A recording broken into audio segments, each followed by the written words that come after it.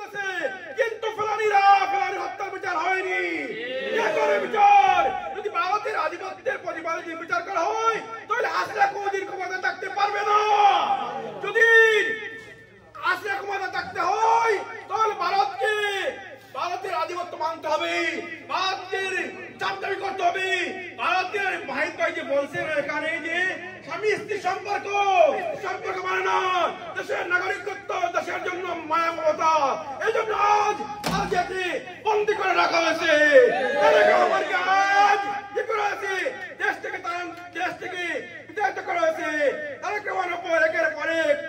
দেওয়া হচ্ছে কি হবে রহমান যান, তাহলে স্বাধীনতা সূর্য প্রতিকাজ আবার জাগবে ইনশাআল্লাহ। কে বন্দি করে রাখা এদের এদেরকে যদি বন্দি করে না বন্দি করে রাখা না হয় যদি বন্দি করে রাখা না না হয়, তাহলে বাংলাদেশ কি হবে? শুধু দেশ আর হবে না। বাংলাদেশ হয়ে যাবে সোনার দেশ। এই সোনার দেশ করতে হলে কি করতে হবে? সোনার দেশ করতে হলে বেগম খালেদিয়াকে মুক্ত আকাশে ছেড়ে দিতে হবে।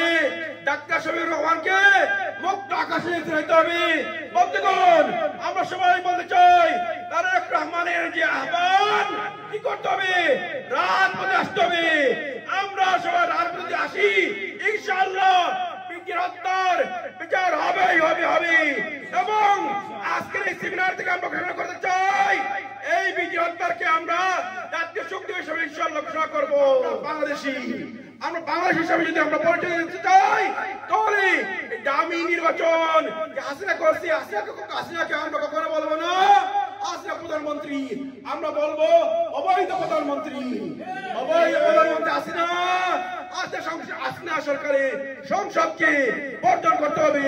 যেভাবে বাংলা জনগণ ভোট প্রদান করছিল আসন বন্ধুগণ আমরা সবাই এই সরকারের পতন হবে হবে ইনশাআল্লাহ ইনশাআল্লাহ। এই আশা ব্যক্ত করি। এই মুহূর্তে দরকার। আজকের এই আলোচনা সভায় থেকে আমরা বিডিআর হত্যাকাণ্ড বিষয় সম্পর্কে আলোচনা করতে চাচ্ছি।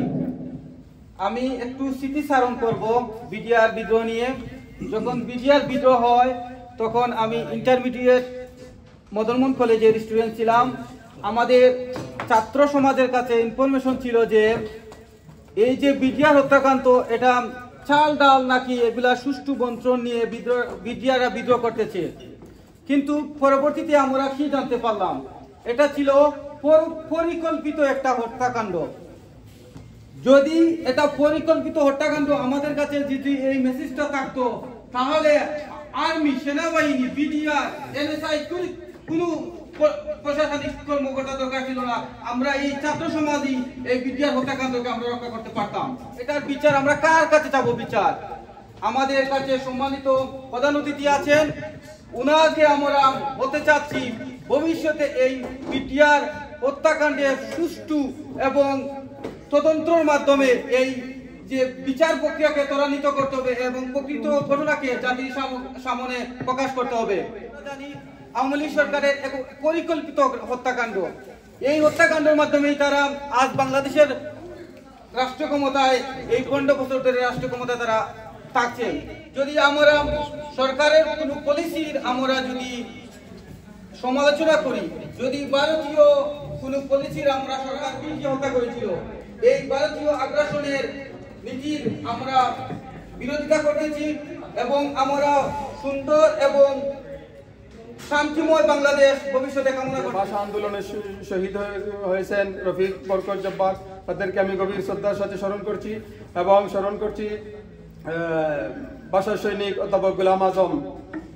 এবং স্মরণ করছি দু হাজার নয় সালে যে শেখ হাসিনার এবং ভারত, ভারতের রোর মাধ্যমে যে হত্যাকাণ্ড হয়েছিল বাংলাদেশের দুই নয় সালে পঁচিশ ফেব্রুয়ারি এবং ছাব্বিশ ফেব্রুয়ারি যে হত্যাকাণ্ড যে সেনা, সাতান্ন সেনা অফিসারদেরকে হত্যা করেছিল, তাদেরকে আমি গভীর শ্রদ্ধার সাথে স্মরণ করছি এবং